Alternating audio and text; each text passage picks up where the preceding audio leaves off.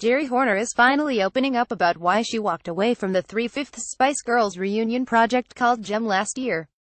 The former Ginger Spice spent months working on a side project to celebrate 20 years of the Spice Girls with former bandmates Emma Bunton and Mel B, but it all fell apart before their single could even be officially released.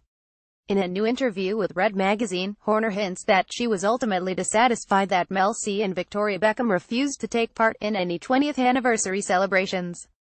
Advertisement continue Reading Bella we really pushed to get everyone back together. It got to the point where I just had to let it go, she explained. Copyright Red however, Horner also offered this tease about the future I still love the girls, and there are other bits and bobs in the pipeline. Horner most recently released the solo George Michael tribute single Angels in Chains earlier this year, but now she says she's turning her focus to TV projects. I want to reclaim my identity and do things I'm proud of and contribute to the world, she said, adding of her TV ambitions I think it's time to throw my hat in the ring.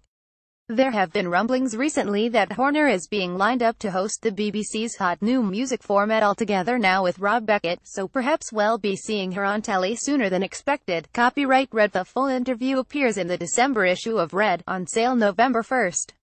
For further exclusive content, please visit Red Magazine. Want up to the minute entertainment news and features just hit like on our Digital Spy Facebook page and follow on our at Digital Spy Twitter account and you're all set.